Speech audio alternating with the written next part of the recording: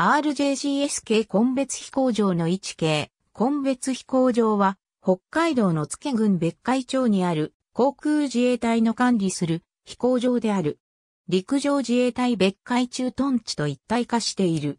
ここには航空機やヘリコプターなどの実力部隊は配備されず、有事に備えた代替滑走路として運用されている。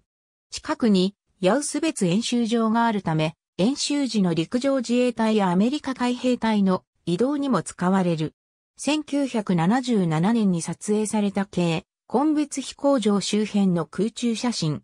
国土交通省国土地理院地図、空中写真閲覧サービスの空中写真をもとに作成。1978年撮影の4枚を合成作成。